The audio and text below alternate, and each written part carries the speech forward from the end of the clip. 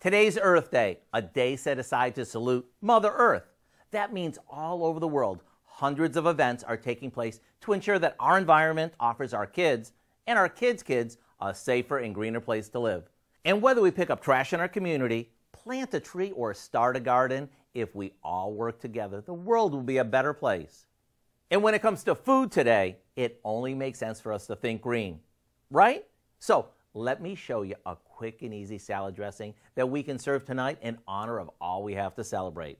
All we do is mix together some mayonnaise, buttermilk, minced onion, garlic powder, salt, and pepper, along with some freshly chopped parsley and basil. Just think, if we plant an herb garden today, we'll be able to pick our very own fresh herbs in about six weeks. And when you serve this rich and creamy dressing over anything from our everyday mixed greens to trendy kale, you can bet it'll get noticed. This is a far cry from that bottled stuff that's been sitting in your fridge for months.